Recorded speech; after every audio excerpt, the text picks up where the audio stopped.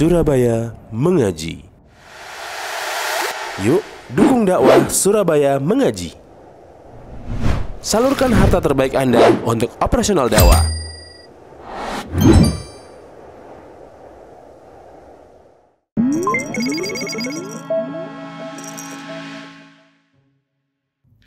Apakah merokok membatalkan puasa? Kita berdoa kepada Allah Subhanahu wa taala agar saudara-saudara kita yang kita cintai karena Allah dan masih terus saja merokok bisa Allah bukakan hatinya dan mudahkan untuk meninggalkan hal tersebut. Karena syariat Islam adalah syariat mulia yang begitu perhatian dengan kesehatan dan sudah kesepakatan para pakar kesehatan bahwasanya merokok itu berbahaya. Lalu, apakah merokok membatalkan puasa? Jawabannya Iya, memang ada asap, memang ada asap atau uap yang apabila dihirup tidak membatalkan puasa.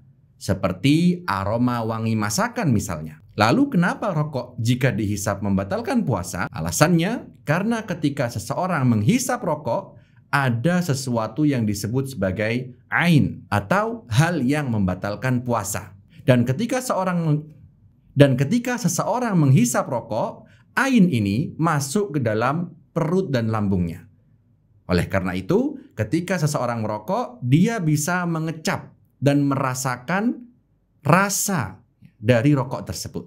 Dan ini juga bisa tertelan bersama dengan air liurnya. Para ulama mengistilahkan merokok itu Para ulama menyebut rokok ya, atau merokok dengan syurbut dukhon. Syurb secara literal artinya adalah meminum. Maka seakan-akan orang yang sedang merokok itu meminum sesuatu, masuk ke dalam lambung dan perutnya. Dan apabila seseorang memasukkan suatu hal ke dalam dan apabila seseorang memasukkan suatu hal ke dalam perutnya dalam keadaan berpuasa, maka puasanya batal.